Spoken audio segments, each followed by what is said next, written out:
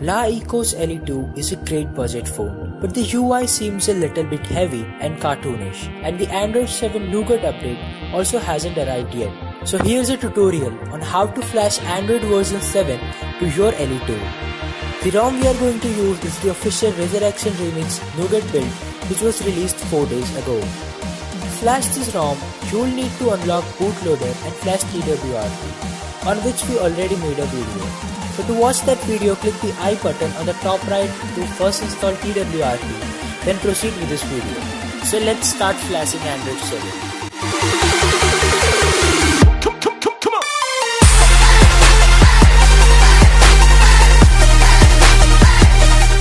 Boot into the TWRP mode by pressing volume up and power key together.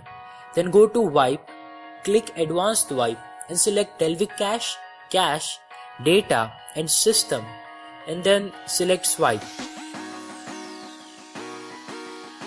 After it's done, go to install and select your ROM file. Select add more zips and select the GApps for Android 7. Then swipe to confirm flash. It will take few minutes to install.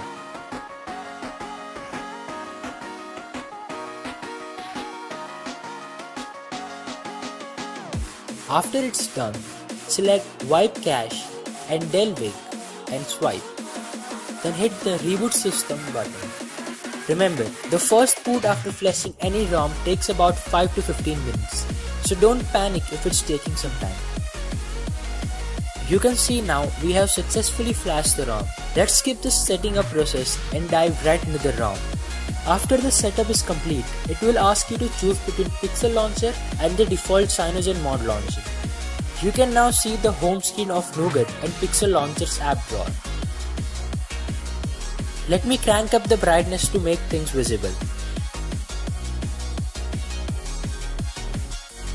Here's the Nougat settings menu. Android version 7.1.1.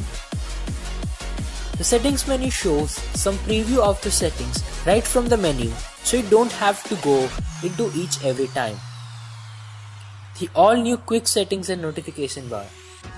You can add new titles to quick settings from here.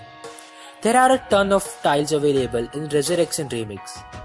So that's it guys, I have used this ROM for 3 days now and I haven't found any issues or bugs. Links to all the files will be mentioned in the description box. I hope you liked this video and if you did, give this video a like and if you have any questions, feel free to ask in the comment section below. Subscribe to our channel if you haven't already and we will see you in the next one.